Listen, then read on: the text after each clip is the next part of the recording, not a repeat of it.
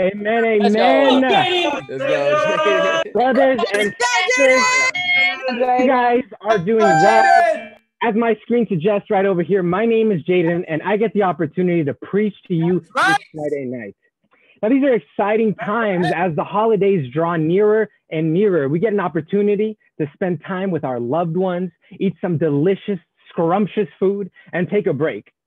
I know uh, for any students among us, uh, we, we're waiting for the holidays, right? The holidays are like the end zone, right? It's like it's like the touchdown. It's an opportunity to get that much needed rest after all that hard work you've put into your classes, into your tests, into all of your studies. I know for me, uh, when I was an undergrad, the holiday season always felt like a sanctuary, right? It was like a stress-free zone. Because I mean, school was tough sometimes, you know, and, and there'd be semesters where I'd roll into the holidays just feeling like I conquered the world. Other times, amen, it felt like I just escaped like a burning building. I don't know how I got out there. I was, you know, uh, crisp clothes, shocked and confused, but I made it. I really hope that uh, none of you guys can relate. Nevertheless, uh, no matter bro. how we're walking into the holidays, whether you're at top of the class or you're just fired up that C's get degrees, it's important to go into them with clarity of purpose and a healthy understanding on what to expect, especially if this is your first time going home. The title of my very short charge is Tis the Season. Now, you know, uh, for many of us, it's our first holiday uh, season as a disciple. And every other holiday has been just a little bit different. It's been a chance where we get to go and chill, right? Uh, we get an opportunity to let the old noodle cool down, catch up on some lost sleep. Um, and don't get me wrong, there's going to be time for that. But as a disciple, uh, that can't be all that our holiday seasons consist of. You know, in uh, Matthew chapter 9, uh, Jesus is preaching and he's teaching, and he looks around at the people uh, that are gathered there and he's filled with compassion, right? He sees that they are harassed and helpless. And in verse 37, Jesus says this to his disciples He says, The harvest is plentiful, but the workers are few. See, for, uh, for a lot of us, the holiday season is a very cheerful time. However, I'd also say that for a lot of people, it could be a very difficult time, right? There's a lot of cheer, uh, there's a lot of happiness and joy going on on the outside. It can sometimes be a stark contrast to all the loneliness and, and the hollow and the pain that goes on in some individuals. And it really helps to highlight that. This is why the holiday season can be an incredible opportunity to help someone come into a relationship with God and have their soul saved. To get a better understanding on what our mindset should be going into the holidays, I thought we would take a look uh, by beginning to look at the mindset of Jesus. My very first point is the reason for an evangelistic season. Mm. Come on, bro. Feed us, bro. Feed us. get like a, a fuller picture of Jesus's mindset, we would need a lot more time than I'm allotted to right now. So I'm going to take a little bit of a Tommy gun approach, right? I'm going to throw a lot of scriptures at you, but then I'm going to come in for a landing in Colossians chapter one. If you want, you can turn there now, and I'll meet you right over there. Now I'll be Come touching on some scriptures rather quickly, but I do recommend that you write some of these down so that you can take a look at them later and study them out on your Come own. on, Jaden. Yo, bro. Feed us, bro. Feed me, bro. Now remember, Come we're on, trying bro. to understand what our mindset should be for the holidays, really all the time, by understanding what Jesus's mindset was. In we're gonna pick it up in, uh, in Mark chapter one. You don't have to turn there. Uh, just write these down. Mark chapter one is the beginning of Jesus's ministry, and we read in verse 16. As Jesus walked beside the Sea of Galilee, he saw Simon and his brother Andrew casting a net into the lake, for they were fishermen. Come follow me, Jesus said, and I will make you a fisher of men in, even in the beginning of Jesus' ministry, he calls others to be a fisher of men and to follow him. Very shortly after, in verse 35, we pick it up. Very early in the morning, while it was still dark, Jesus got up, left the house, and went into a place Mm. pray. Simon and his companions went to look for him, but when they found him, they exclaimed, Everyone's looking for you. Jesus replied, Let us go somewhere else to the nearby villages, so I can preach there also. That is why I have come. We see that Jesus wakes up very early in the morning and he has a solid quiet time, which is why Jesus is able to later have uh, be very resolute about his purpose. This is why it's super important, super critical that you have strong, I'm sorry, strong quiet times even in this upcoming season. Right after he says, Let us go to preach, for that is why I have come. He has seen his purpose. Matthew chapter 20, in verse uh, 28, the Bible reads, uh, just as the Son of Man did not come to be served, but to serve and to give his life uh, as a ransom for many. So, very clearly in the scriptures, we see that Jesus didn't come to take, he came to give. Not just what he could, but all that he had. He gave his very life for the very purpose of saving souls. Luke chapter 19, verse 10. The Come on. Come on, For the bro. Son of Man came to seek and to save what was lost. I doubt this one needs a lot of explanation from me. It pretty much explains itself. Jesus came for the lost. First Timothy chapter 1. In verse 15, the Bible reads, Here's a trustworthy saying that deserves full acceptance. Christ Jesus came into the world to save sinners. And there's so many other scriptures that help us see what Jesus was really about, what his purpose was while on earth and his attitude towards it. Jesus Christ came into the world to save sinners. Now you're thinking, well, that's awesome, right? That's great for Jesus. He's such a swell guy. But see, the attitude that Jesus has actually affects us a little bit more than you think. Now let's uh, meet together in Colossians chapter 1. We're going to be starting in verse 15. Come on, Let's Jaden.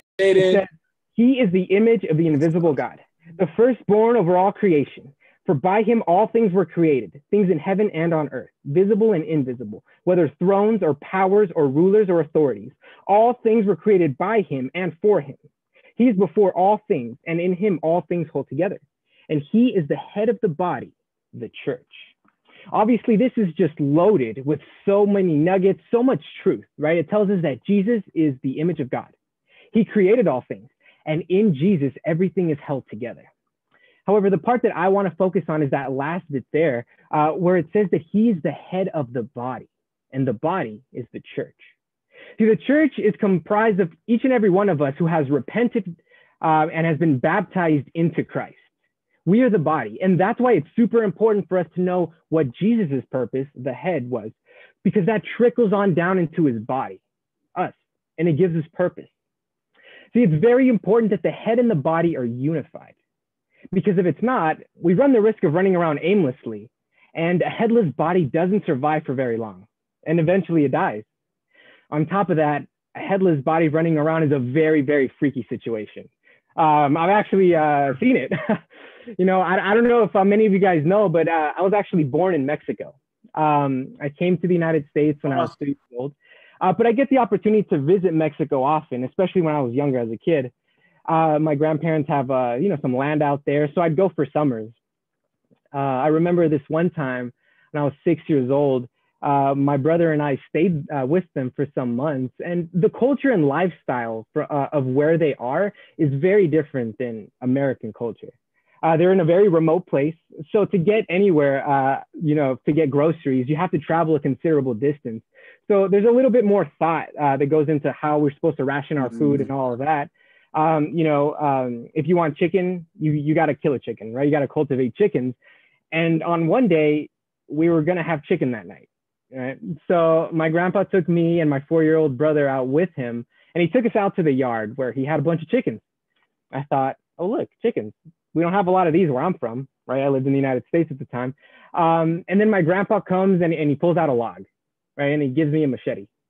And then he grabs the chicken, he puts uh, his neck on the log and he says, okay, córtale la cabeza, which means cut off its head. And I said, yeah.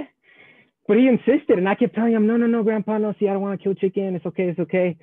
But, you know, the culture is so different that he was, he just kept looking at me like super confused right? Like he couldn't wrap his mind around why this grown six year old didn't want to decapitate a chicken. Come on, bro. Right? So he's all like, andale, andale, tenemos muchas cosas que hacer, which means hurry, on, hurry. bro. There's a lot that we That's still right, have to do. So I caved, gave him to some peer pressure.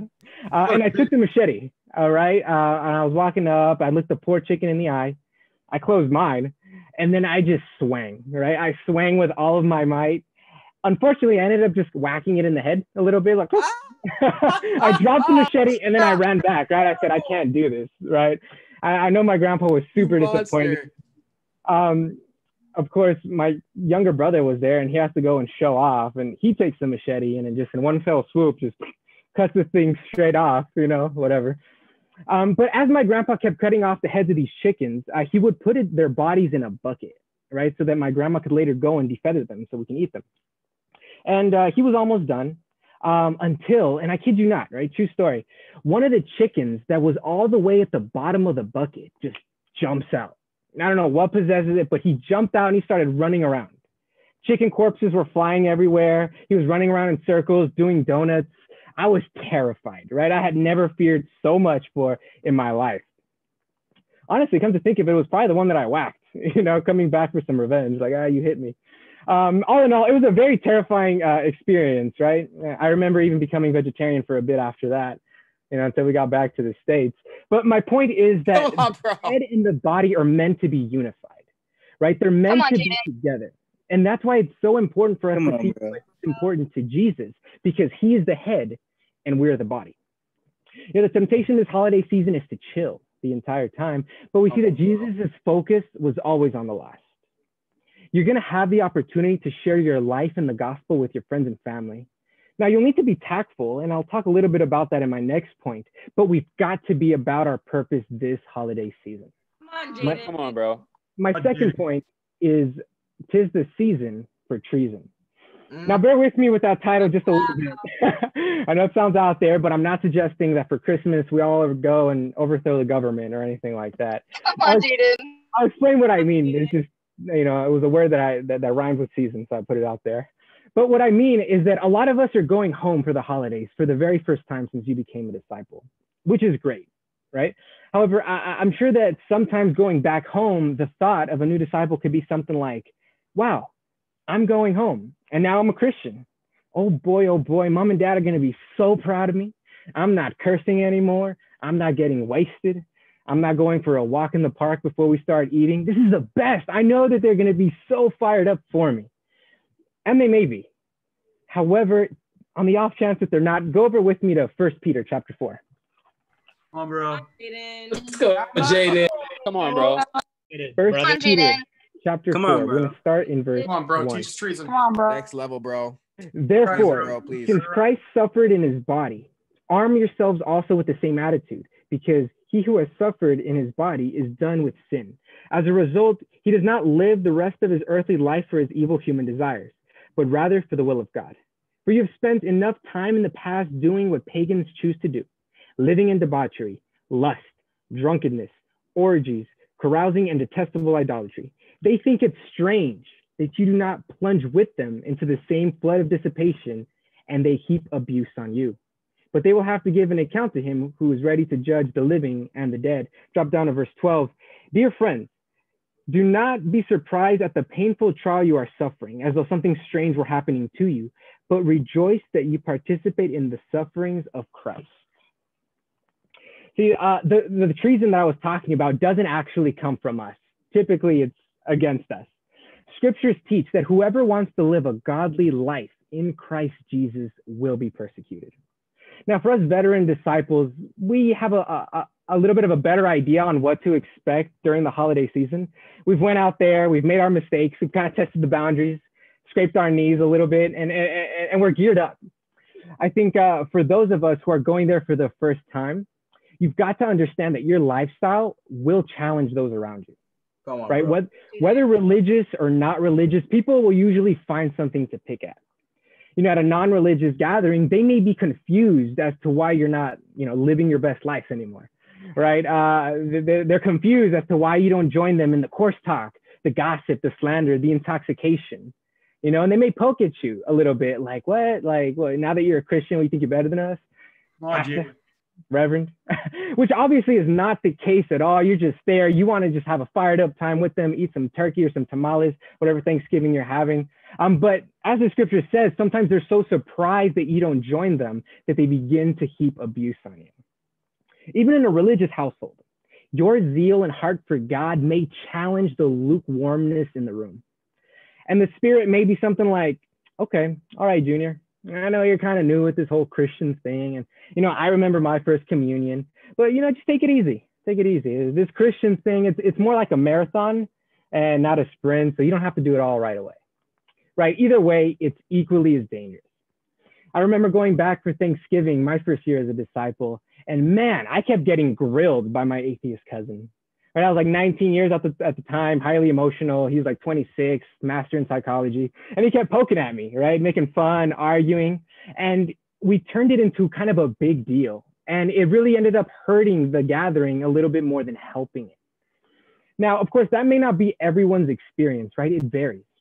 However, you've got to expect the unexpected and make sure that you're staying connected with brothers and sisters so that if something does happen, you're ready and you've got your discipler on speed dial. Talk about you know, it. Every opportunity is an evangelistic one if you see it that way, even the holiday season. I will say though, especially when it comes to evangelizing the family, there's a certain way you've got to go about it. You know, some of us, uh, we're very zealous, and that's incredible. You know, keep up the zeal, do not stop. But I guarantee you that at least someone on this call is going to make the mistake that I did, right? And that's going into the into the family gatherings, coming in hot, right? Locked and loaded, guns ablazing.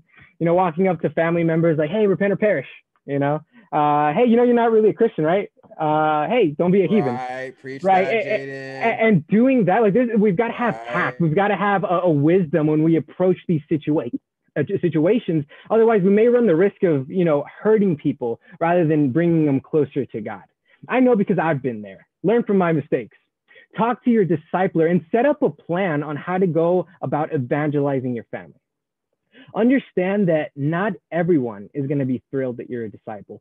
But have the faith to know that God has placed you, God has picked you, and He has placed you where you are so that you can be the light to your family or wherever it is you're gathering for the season. All in all, guys, the holiday season can be an incredible experience as a disciple, an amazing opportunity for you to share the gospel both directly and through your life. Let's be unified with the head and know that our purpose is not to check out this holiday season, but it's to check into the mindset of Christ. Be strong and courageous do not let persecution get you down, but rejoice that you've been uh, counted worthy for suffering for the name. Keep your discipler on speed dial and let's win this world for Christ. Amen. Amen. Come on, Jaden. Come on, Jaden. Come on, Jorgito. Hey. To New York. Wait a minute. Ashton, you better go ahead. Come on, Slash. Let's go, bro. Nice lights, bro. Come on, Ashton. Appreciate it. Let's go, bro. Okay, my I'm just blacked out, but we back. Uh, you know, I appreciate Jaden a lot. You know, tis the season right there. And it reminds it's so funny. He said going back home, guns of blazing. And it's really funny because that's that's exactly what I did. Um, and I think a lot of it is because we want to be great as a people. But the issue is I have what's called atychiphobia right there. Uh, is the fear of making a mistake, is the fear of failure. Or maybe you have atelophobia, which is the fear of making any little type of mistake, aka perfectionism. And I truly believe that this is the society that we grew up in. This is the society that we currently live in. Sadly, a lot of times we could bring this same phobias into the kingdom. It can still impact us. But family, I'm here to tell us tonight that they do not have to. Turn with me to Proverbs 24 and verse 16. Come on, Go ahead, Come on, bro. The classic scripture right here. It says, For though the righteous fall seven times, they rise again, but the wicked stumble when calamity strikes, right? We always read this scripture like to encourage brothers and sisters to, hey, if you fall down, get right back up. And we read this scripture, and it guarantees two things for us. The first thing it guarantees is that those righteous men and women of God, the righteous who wake up in the morning and have great times with God, the righteous who go out and share their faith and live out their purpose, the righteous men and women of the Lord will get up even though calamity may strike. Come on, bro. But the other part we have to see here is that it's an absolute guarantee that you will fall, that you will fail, because you can't get up unless you fall down right there. Yeah. But what on, really matters is if you actually get up or not. And we know the apostles, man, they had anything but a 100% success rate. I mean, there's times they couldn't cast out demons. They're supposed to be like the big, the big dudes on the block. They're supposed to be the D1 football players at Cal right there. Amen. Shout out to my brothers over there. They're supposed to be the big guys, and they fell away from Jesus. And we'll talk about that a little bit later. But they flat got up and were able to evangelize the nations in their generations. you can never get back up if you don't fall. And tonight, you know, this scripture, we can talk about the aspect of getting back up, but to be honest with you, I really want to talk about the art of the fall when we fall down. And as a people, man, we're, we're just afraid to fail. Come on, bro. We don't want to hurt our reputation. We don't want to hurt our parents' feelings, someone else's feelings. We don't want someone to be embarrassed of us. We could feel like a burden. We could be insecure. And man, I used to live like this in a great way. I was a great people pleaser. And it, it's such a crippling, uh, just a fear, just living in a constant hesitation. And so you can even think of this, this probably happened to some of us today. We go over to, you know, Safeway, maybe we're just getting some food or whatever else it may be. And you see that guy or gal you're going to go share with. And you're like, no, they might say, no, you know, he's a little bit older than I am. Da-da-da. And by the time, if you even make the decision to go and share your faith, person's in their car, they drove away, and the only hope they have for salvation on that day did not share their faith with them. Brothers and sisters, let us not live in hesitation. And so when that happens, we, we feel that failure. It, it hurts. It doesn't feel good. And so as a result, we begin to then pull our hearts back, begin to give less effort. We begin to make excuses to cover up that failure. And we do all this. And what does this all culminate to? Now our pride and our ego is at the forefront of our work ethic. It keeps us from giving us our whole heart or giving our whole hearts rather because we hate the word failure. Come on, But family, come on, as sons and as daughters of the living God, I want to invite you all to absolutely fail harder. And that is the title of my lesson, Fail Harder. Turn with me to Let's Matthew go. 14. Woo, bro. Let's go, bro. We're going to learn how to fail harder tonight. Matthew 14, verse 25. Very popular passage. Many people know about this one, even if they're not religious. But in verse 25, Matthew 14, it reads Shortly before dawn, Jesus went out to them walking on the lake. When the disciples saw him walking on the lake, they were terrified. It's a ghost, they said, and cried out in fear. But Jesus immediately said to them, Take courage, it is I. Don't be afraid. Just so cool, man. Lord, if it's you, Peter replied, tell me to come to you on the water. Come, he said. Then Peter got down out of the boat, walked on the water, and came toward Jesus. But when he saw the wind, he was afraid and beginning to sink, cried out, Lord, save me. Immediately, Jesus reached out his hand and caught him. You have little faith. He said, Why did you doubt? And when they climbed to the boat, the wind died down. Now, as we said before, very famous passage. For the most part, if you haven't read the Bible, maybe you heard about this somewhere that Peter walked on the water. I know a lot of times when I read this scripture, I usually focus on like, okay, you know, I gotta have some faith. I want to walk on the water. If I want to stay on the water, I gotta have some faith. But I never really analyzed how fantastic of a miracle that Peter just performed in the midst of a storm. I don't know about you guys. I've been taught to like stay in the boat. I'm like, okay, seatbelts on. Like, what can I use to stay on this thing? I'm not trying to fall out. And then could you imagine you're trying to get all your stuff together, stay on the boat during this storm? And Peter's like, all right, cool, I'm gonna walk off. Whoa, that's the last thing we should be doing. But Peter walks off the boat in the midst of raging waters. And he slowly starts to walk on the water. See, Peter took a risk. Peter was willing to fail if that's what it came to. And because of that risk he took, because he decided that if he was going to fail, he was going to fail harder, he, along with Jesus, are the only two men can say they've ever walked on water. Come on, oh, This bro. doesn't Come happen. bro. This does not happen if Peter's not willing to make a mistake. It's a vulnerable mentality that Peter must have. And he had that mentality of, you know what, if I'm going to fail, I know I'm going to mess up, but I will fail harder. And then I begin to think about the other disciples in the boat. There was, hey, all these people are supposed to be God's all, stars, essentially. But in verse 26, it says that they were absolutely terrified. There's that crippling fear. And Jesus said, Hey, I'm out here. God, it's me, I promise. How do you not know my voice? It's been years we've been hanging out. But they're crippled by their fear. They didn't trust, they didn't believe, and they didn't want to take a risk. So they stayed in the boat. The question then goes for us will we stay in the boat and live based off our fears? Or are we going to put ourselves out there and give us a shot at walking on the water? You know, uh, uh, instance recently that happened to me a couple Tuesdays ago now is uh, I almost stayed in the boat, guys. I almost like was like strapped in. So normally some SF brothers out here, we go play basketball Tuesday mornings. We be getting some buckets. It's been awesome. Um, there was this one Tuesday, literally nobody could go. And I was like, you know what? I still kind of want to go get some exercise in. So I went and I was kind of shooting around and I noticed this guy.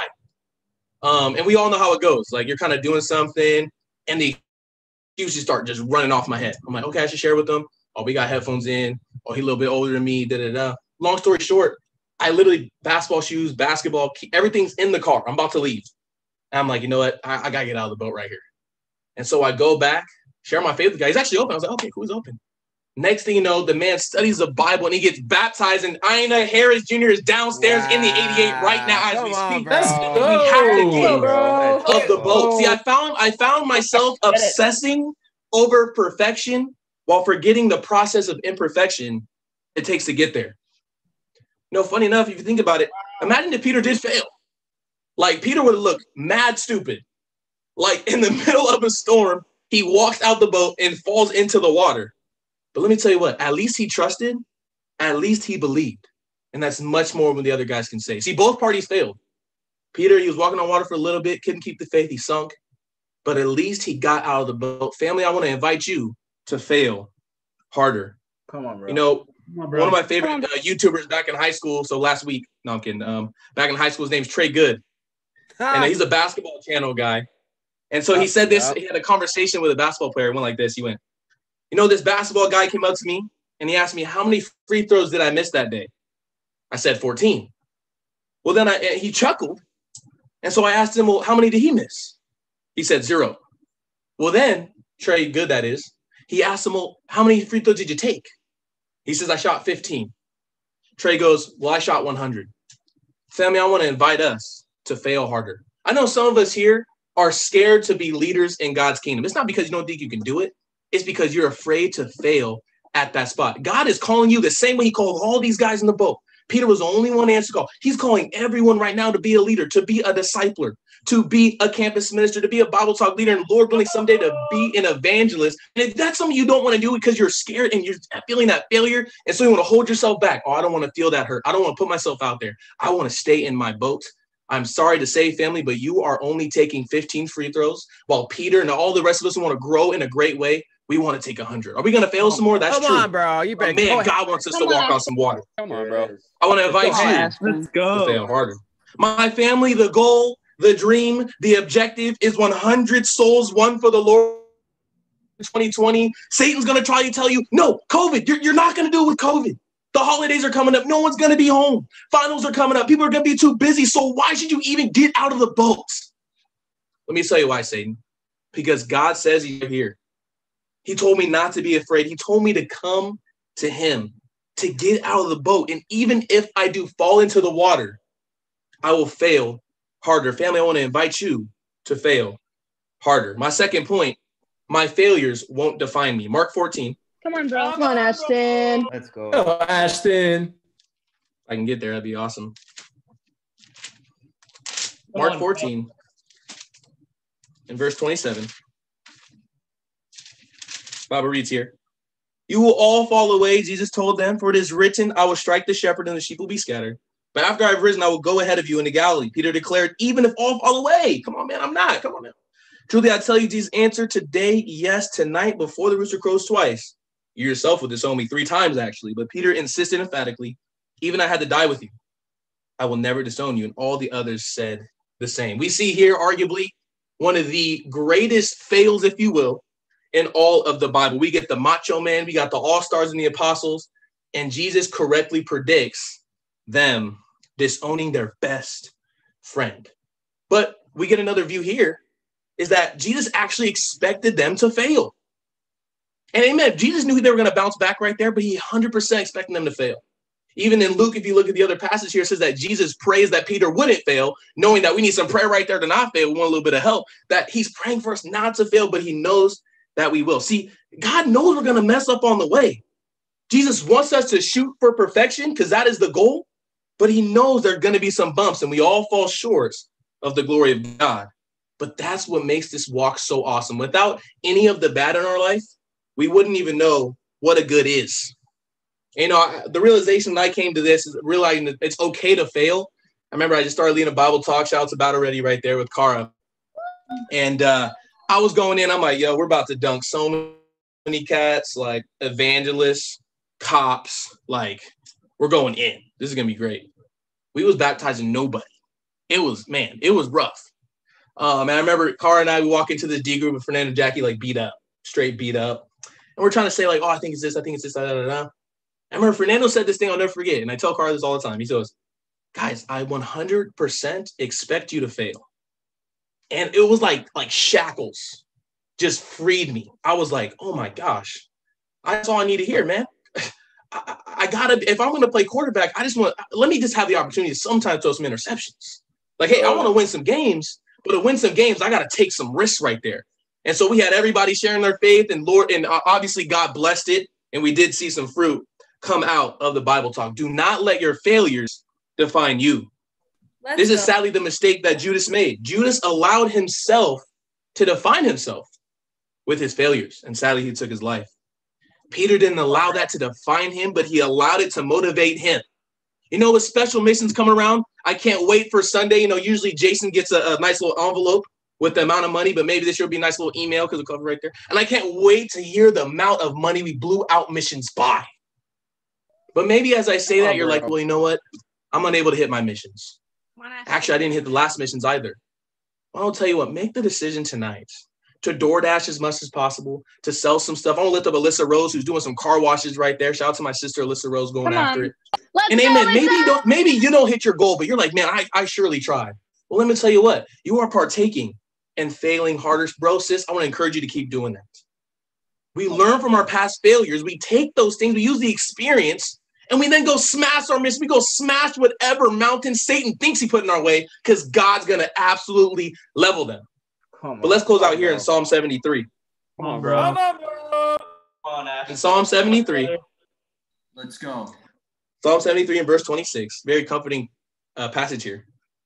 It says, My flesh and my heart may fail, but God is the strength of my heart and my portion forever. What did we really learn today, family? Bottom line, failure is borderline a guarantee.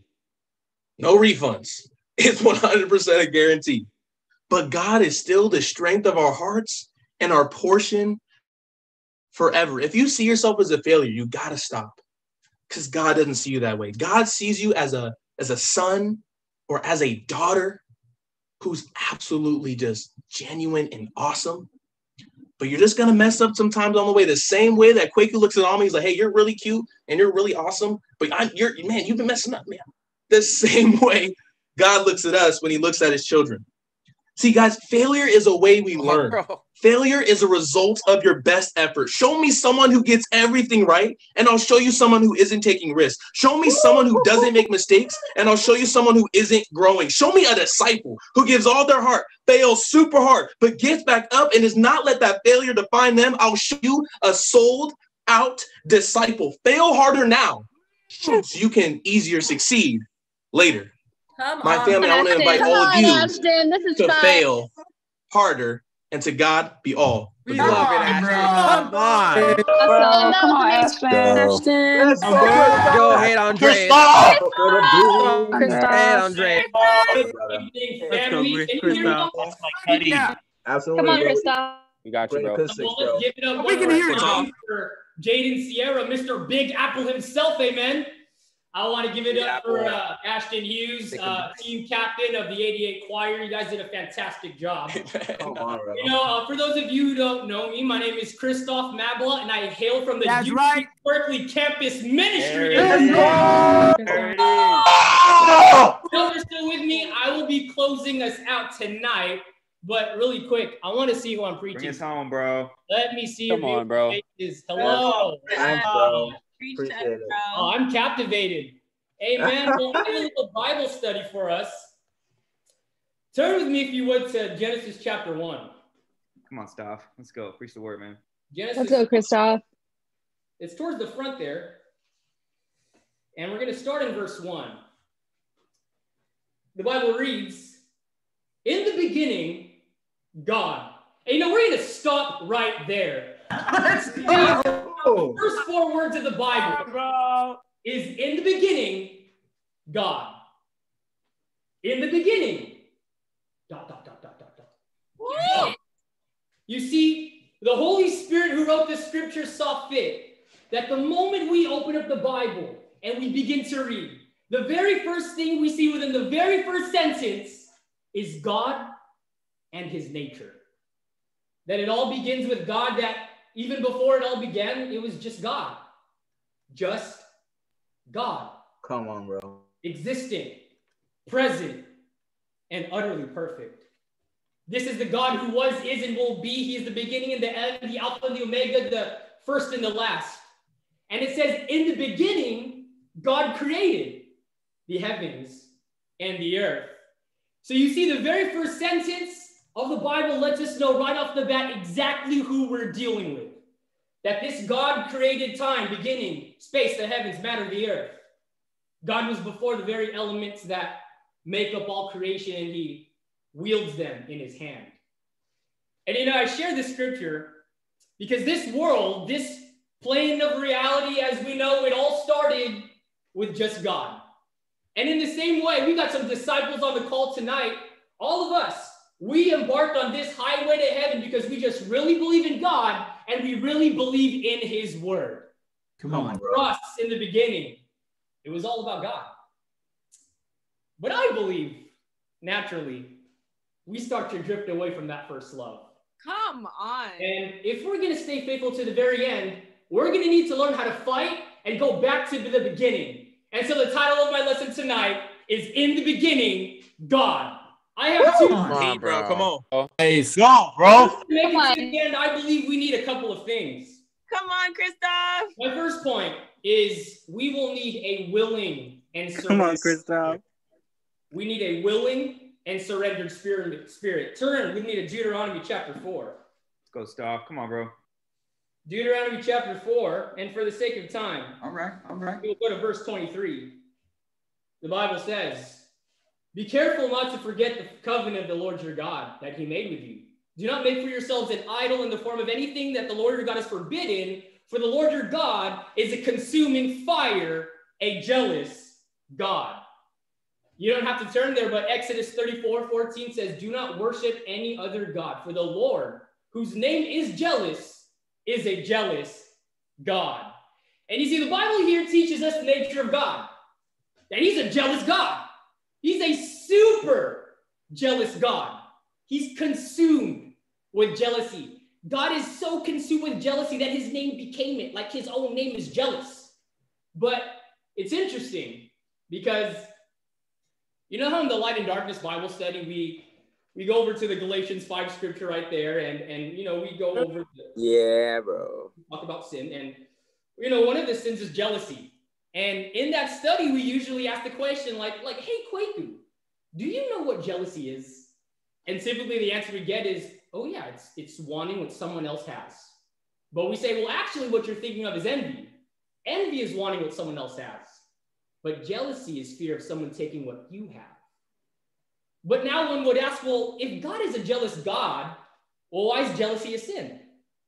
Because for any one of us to be jealous of someone taking what we have would falsely assume that we have ownership of anything to begin with. The Bible says, in the beginning, it was God who created the heavens and the earth. God is oh the only person who has the right to be jealous because he created everything and therefore he owns everything. Come on, bro. Jealous means he is supreme owner of all creation. But for us to be jealous would mean we are acting in the place of the creator. We're not God. We are nothing. We don't actually own anything. We ourselves, we're created beings, and you know, we can only take what is given to us by God according to his plan that he has for our lives. But what does this have to do with surrender? You know, I believe many of us who are spiritually young disciples, which is everyone on this call, amen, except for Kwaku, um, we can be tragically unsurrendered about God's will for our lives. We need to understand that God owns us. He can do with our lives as he pleases. He created us, he bought us with his blood. But but I get it, right? We can want things like I have ideas for my life. But we can somehow get into our minds that not being surrendered is like cute or like it's a casual sin, right? Like, yeah, I just really wrestle with surrender, bro. Like in general, like, okay, do you plan on repenting, right? But I'm learning this in a great way, family. We need to realize that being surrendered is absolutely satanic in nature. Absolutely. And why? Because when we are not surrendered to God's will and plan, we have somehow convinced ourselves that we know better than God. That what we want is far superior and greater than what God has in store for us. Come on, bro. And when we want to take things for ourselves and do with our lives as we please, we are in a very real way taking what does not actually belong to us. What do we call that? Thievery. You are attempting to rob God Himself. and who's the first person to do this? Satan himself. In John 10, Jesus says Satan is what? A thief that comes to steal, kill, and destroy. Satan had his own ideal. Wow. He wanted things. He had a vision, he had a will for his own life. He wanted to exalt himself over the throne of God. And when he acted on this, he introduced to the universe a will that was foreign. It was outside the will of God. And we have to understand there's never meant to be a will other than the creator's. Romans 12 says God's will is perfect and pleasing. There's no need for another one. And Satan Preach. not stay in his lane. He couldn't get surrendered about his role in God's leadership. And when we struggle with being surrendered to God's perfect and pleasing leadership, we act exactly like Satan. And you know, speaking of I want to talk about leadership for a little bit. And this is something that I've had to wrestle with it with wow. it. Amen. Come on, bro. I feel okay with calling my family to this as well. Come some on. of us, and if you think I'm talking about you, I probably am. Um, some some of us know deep down that you should be pursuing full-time ministry and you're not. Like you have the heart, you have the talent, leaders believe in you. People have told you, hey, bro, I believe you can be an evangelist. Hey, sis, you can be a women's ministry leader. You can be a leader and go into the full time ministry. But what stops you is that you get so caught up in your fears and your anxieties and your worries, your own ambitions, what you want to do for your life, and you make it about you, you, you, and less about the Father, the Spirit, and the Son, and you lack a willing wow. and surrendered spirit. Wow. Come on, bro. When God wants to raise you up to be a oh leader, oh my gosh, it's so obvious. It's so obvious. Like, don't think for a second that we have enough leaders. Like, we have an abundance of leaders somehow. Like, we need more. We have the whole entire Bay Area to get to. We have the whole earth to get to.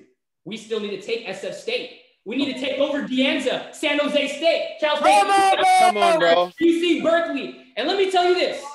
I believe the reason why we haven't smashed through 100 baptisms for the Lord is that because many of us have wasted precious time doubting the call of God, that we wow. Want to reach those that God wants to call. Come on, bro. Come on, bro. I mean, look. Let's go, bro. Come on, bro. Look at the gallery. We have the manpower. Look, the talent. We have the know-how. We've had 90 baptisms this year during the pandemic. Like, if we could baptize that many people during quarantine, you think we can blow out 100 by the end of December? Like, come on, stop. Absolutely, we can. And you know, let's talk about something else. In two days' time, we have our final turn in for Special Mission Sunday. And you know, I want to I want to lift up the Berkeley region, amen. The young disciples really went after it right there.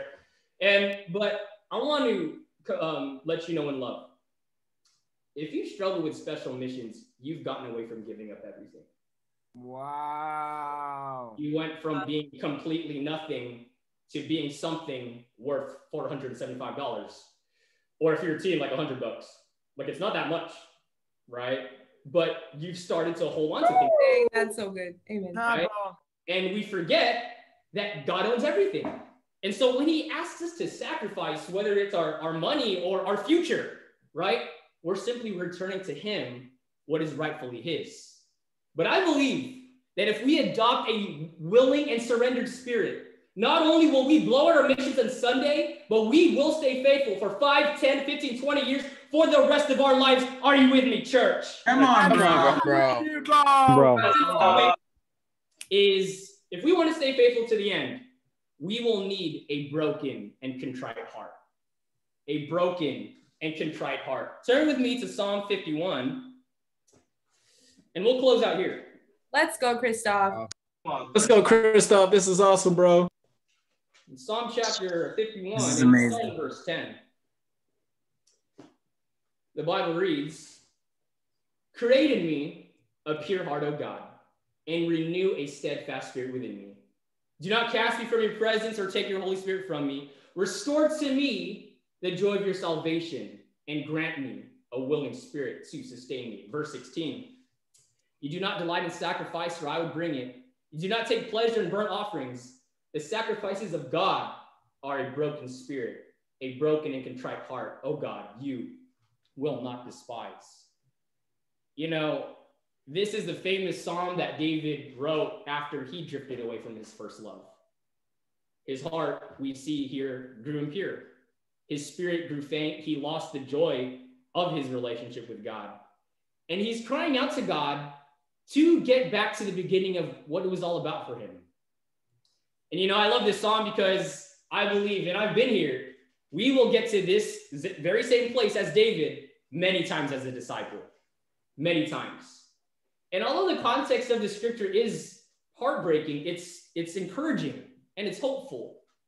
God absolutely knows that we will get to dark places like this. And God, being a good God who is sovereign, will allow it to happen for the sake of transforming us. And He needs to transform us because we can't take it to the next level unless we change. Now, what has to change? Our hearts have to change. In Ezekiel 36 26, you don't have to turn there, it says, I will give you a new heart and put a new spirit in you. I will remove from you your heart of stone and give you a heart of flesh. And right here, I believe this is the goal of all the suffering in Christianity to have a completely transformed heart, the heart of Jesus. And God says, if you want to make it to the very end, I have to take your heart of stone and give you a heart of flesh. Your heart is too hard, and I need to soften it. And how is God going to do that? He has to smash us, He has to break us. David says God doesn't actually need your sacrifices. What he really wants is your heart, but, but, but not that hard, selfish, crusty heart of yours. He wants a broken and soft heart. Crusty. Come on, bro. I, as human beings, right? I mean, I, am I'm, I'm here with you. Come on. Plus, amen. Um, I think we can sum up all of our fears in this life into one simple thing the fear of having our hearts broken. And we've all gone through that in some way, shape, or form, right? Whether it be tragedy, losing a loved one, financial hardships, losing relationships, breakups, death. I think we can sum all that up into the simple fact that we are absolutely terrified of having our hearts broken. Like, I don't want to go through that. I don't want to feel that, right? And naturally, in a real way, we can look at a broken heart, having our hearts broken, as the end of the world. Like the end of the world, right? Earth stops spinning because I went through something. And you know, in the world, that is kind of true. Like, but not in the kingdom. A broken heart isn't the end of the world in the kingdom, it's the, actually the beginning of you living, right? Because it's this kind of soft heart that mm. God can use and is pleased with. And I don't want us to be mistaken in a real way. God is trying to kill you. You have a sinful nature, it's inside you, right? He's trying to smash you. And he's trying to break the calluses. Come on, bro. On our hearts. And only when we let God do this can we be fit to be the living sacrifices that he takes pleasure in. You know, no one's going to make it to heaven with a hard heart.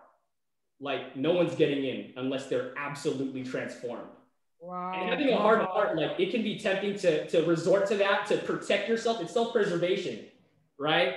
But it kills us spiritually. It doesn't make us tough at all. And if we let God put the pressure on us, right, we don't have to get discouraged. We don't have to cower away from that. We get to rejoice in the hardship, like Paul said, the, the pain, the tragedy, like rejoice in the Lord always because God wants your heart. And if you let Him have it, you're going to find yourself growing more and more in your love for Him. And so we don't have to be discouraged. We don't have to get down. We don't have to lose heart and, and, and let our moods get sour. Let's be men and women of God who have the perspective that if we humble ourselves under God's mighty hand, He will lift us up in due time. We can't pull our hearts back. Come we on, have bro. to be willing to Come on, bro. hold it out for God to smash it because he's trying to save us. Come on, bro. And you know, in the beginning, there was God and his word. And we will make it to the very end if we have a willing and surrendered spirit, a broken and contrite heart. Let's fight every day, month after month, year after year. Let's go back to the beginning where it's just all about God. Let us fight for our first love. And to God be the glory. I love you so much.